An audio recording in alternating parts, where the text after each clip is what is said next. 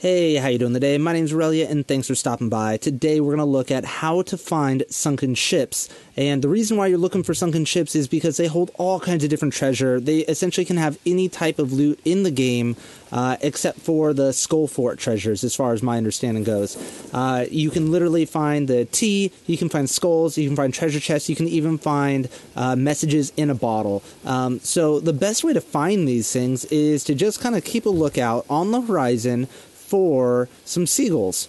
And if you see some seagulls like, oh, that right there, that's how you know that you're going to find either some, uh, a set of barrels or you're going to find a sunken ship. So just look off in the distance and we will see what we see when we get there. Let's go check this out. They recently added an update. It used to be that the seagulls would only show you where a sunken ship was, and as of right now, the seagulls will show you where sunken ships are or um, just a bunch of barrels that are out in the ocean. Let's go. Oh.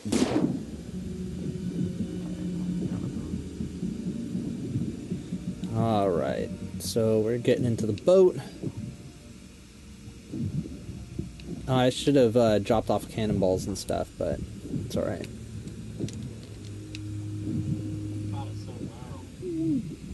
See. Oh, there's a chest. Ooh, that's a good chest too. What is this one called? Ooh, captain's chest. Just like that. Alright, uh, how do I get out of here? I am a little bit turned around. Alright, so that's down further, which I definitely don't want. Uh oh. Uh, it's hard for me to tell because I am taking damage. Alright, so fun fact if you are about to die, you can drop your chest and swim up to the top of the water because you can swim faster without holding a chest, and the chest will float once you pick them up. I got sharks on me? Okay, that's not good because I am almost dead. Alright, perfect because I'm almost dead. So it looks like there's a galleon up there. Um, so we'll have a fight this thing. Ooh, some what just did a shark just get me? Okay.